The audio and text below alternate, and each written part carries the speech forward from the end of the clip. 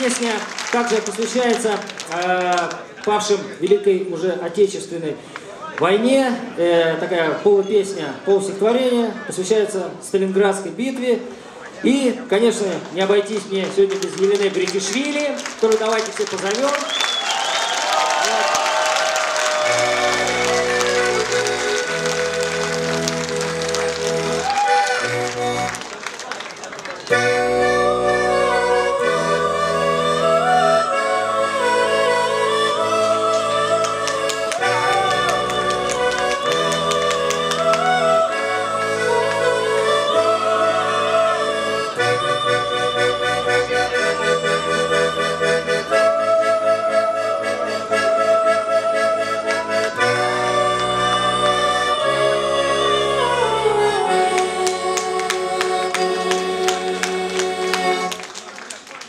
Январь 43 -го года.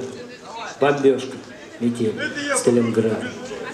Несутся в Германию письма замерзших немецких солдат. Читают в далеких квартирах. Пришлите кальсонов и гетто. Мы прошагали полмира, но здесь не пройти километр.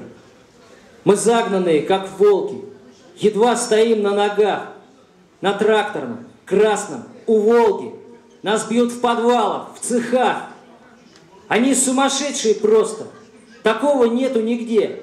Стреляешь, а он как апостол в атаку идет по воде. Приказ их подобен бреду. И это страшный приказ. За Волгой земли для них нету. Но нету ее и для нас. Мы помним, как с бравурным пением втоптали Европу в грязь.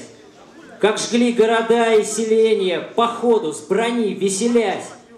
Как ползали все, будто стадо. И вот наказал нас за то обычный солдат Сталинграда, расстрелянный в решето. А, пек, раки, пиво,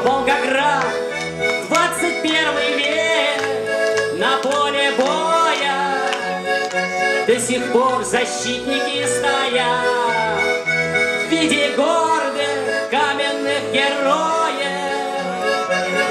Часто думаю я почему-то, приходя на Мамаев курган, очень скоро настанет минута, и последний придет ветеран.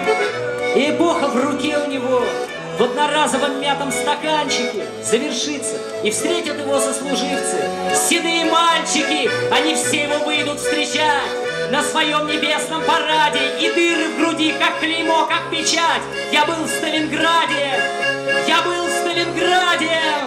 Вместе с ними, легкий словно пух, полетит он сверху наблюдая, не святой, а просто русский дух курганом имени Мамая, как внизу идет земной парад, как цветы к подножью возлагают, про мать Родину все верно говоря, только одного не понимая, то, что меч огромный нужен ей, не за тем, чтоб где-то люди ужаснулись, а держать повыше от людей, чтобы никогда не дотянулись.